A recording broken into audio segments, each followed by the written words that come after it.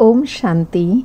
आज प्यारे बाप दादा के साकार ईश्वरीय मधुर महावाक्य हैं 17 जुलाई 2023 आज की मुरली के सार में बाबा ने बहुत ऊँचा नशा और स्मृति दिलाते हुए कहा कि तुम लकी स्टार्स हो। पवित्रता की बलिहारी के कारण तुम्हारा यह संगम का जन्म हीरे जैसा जन्म है।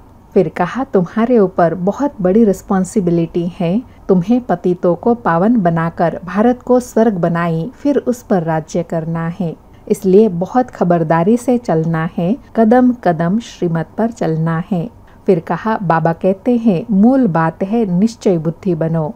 तुमने विचित्र, निराकार बाप का हाथ पकड़ा है। इस ब्रह्मा बाबा के चित्र शरीर द्वारा कहते हैं, मुझ बाप को याद करो। तुम्हारी जिन्न जैसी बुद्धि होनी चाहिए। फिर बहुत ही गुह्य सूक्ष्म बात समझाते हुए कहा कि अब तुमने यह समझा है। प्रजापिता ब्रह्मा को व्यक्त ब्रह्मा कहा जाता है। अब तुम व्यक्त ब्राह्मण हो, फिर अव्यक्त संपूर्ण ब्राह्मण बनते हो। जब संपूर्ण ब्राह्मण बनते हैं तो तुम सूक्ष्म वतनवासी ब्राह्मण बन जाएँगे। संपूर्ण ब्रह्मा, संपूर्ण सरस्वती, दोनों वहाँ सूक्ष्म वतन में रहते हैं। फिर विशेष स्मृति दिलाते हुए रूह रिहान सुनाई कि बाबा घड़ी घड़ी कहते हैं, किसके साथ चल रहे हो? तुम कहेंगे, शिव बाबा के साथ चल रहे हैं। फिर बाबा कहे, शिव बाबा के साथ कैसे चल रहे हो? शिव बाबा तो विचित्र, निराकार हैं। बाबा कहे, तुमने अभी विचित्र, निराकार बाप का हाथ पकड़ा है तो निश्चय बुद्धि हो रहना है। सुनते हैं बाबा के अनमोल महावाक्य विस्तार से। आज बाबा कहे, मीठे बच्चे, अभी तुम बाप, टीचर, सतगुरु तीनों के सन्मुख बैठे हो। बाप की यही कृपा है जो टीचर बन तुम्हें पढ़ा रहे हैं, सतगुरु बन साथ ले जाएँगे। आज मुरली से प्रश्न है, बच्चों का बाप से कौन सा वायदा है? तुम्हारा कर्तव्य क्या है? उत्तर में बाबा ने कहा, बाप से वायदा है बाबा, हम आपसे जो कुछ सुनते हैं, वह दूसरों को भी अवश्य सुनाएँगे। आप समान बनाएँगे। हमारा कर्तव्य है बाप समान सबको पढ़ाना, क्योंकि अभी बुद्धि का ताला खुला है। जैसे हम वर्षा ले रहे हैं, ऐसे रहम दिल बन दूसरों को भी वर्षा दिलाना है।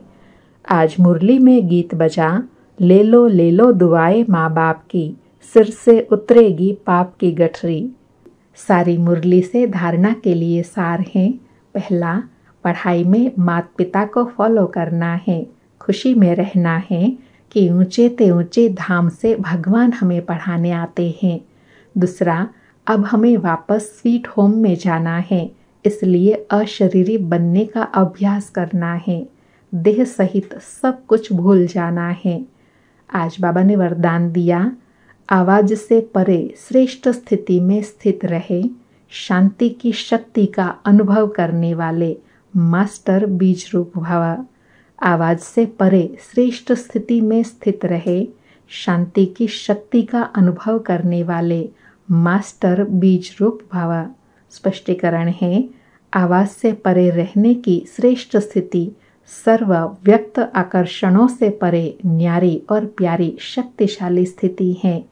एक सेकंड भी इस श्रेष्ठ स्थिति में स्थित हो जाओ तो उसका प्रभाव सारे दिन कर्म करते हुए भी स्वयं में विशेष शांति की शक्ति का अनुभव करेंगे।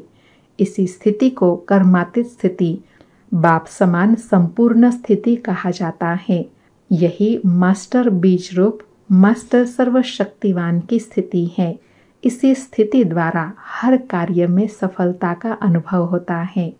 बाबा ने जो हाईएस्ट स्थिति है, सर्वोच्च फाइनल स्टेज है, उसका वर्णन किया कि सारे दिन में अगर एक सेकेंड भी ऐसी स्थिति बन जाती है तो वो स्थिति सारे दिन में कार्य करते हुए भी ऐसी अनुभूति होंगी कि जैसे कार्य करते हुए भी न्यारे हैं। मास्टर सर्वशक्तिमान स्थिति का अनुभव होगा, जिससे हर कार्य में सफलता का अनुभव करेंगे।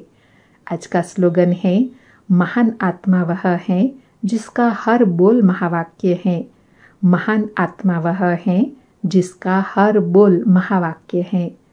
अच्छा मीठे मीठे सिकिल थे बच्चों प्रति मात पिता, बाप दादा का याद प्यार और गुड मॉर्निंग रूहानी बाप की रूहानी बच्चों को नमस्ते।